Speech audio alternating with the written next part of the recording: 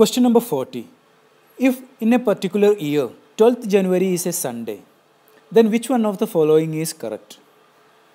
Option A 15th July is a Sunday if the year is a leap year.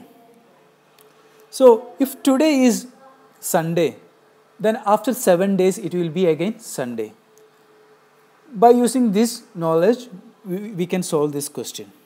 So here 12th January is a Sunday.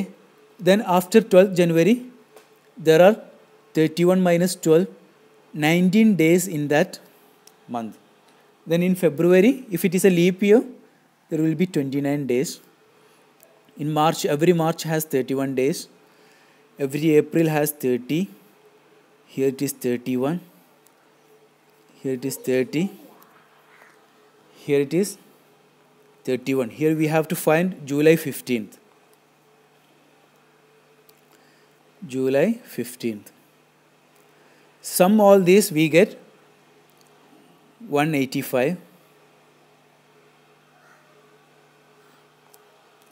185 divided by 7 we get 26 week and 3 days. At the end of this 26th week, it will be a sun, Sunday again. But here, three more days. That means this Sunday will be a, this 15th July will be a, is a Wednesday. 15th July is a Wednesday.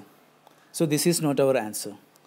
Then, 15th July is a Sunday if the year is not a leap year.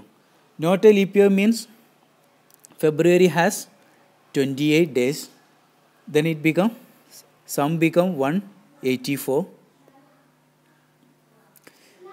then here 26 weeks and 2 days.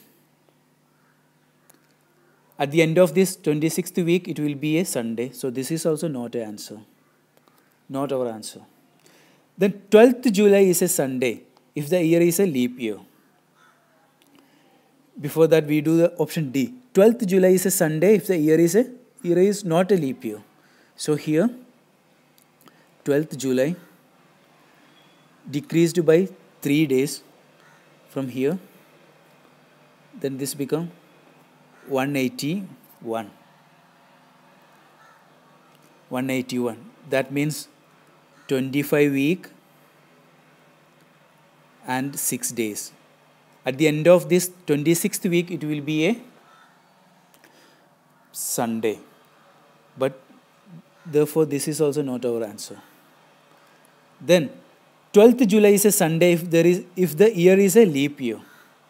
So here we here it will be 29.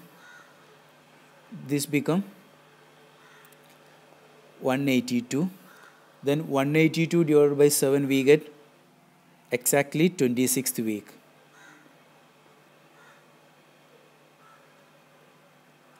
That means at the end of this 26th week, it will be a Sunday again. Our answer is option C. 12th July is a Sunday if the year is a leap year.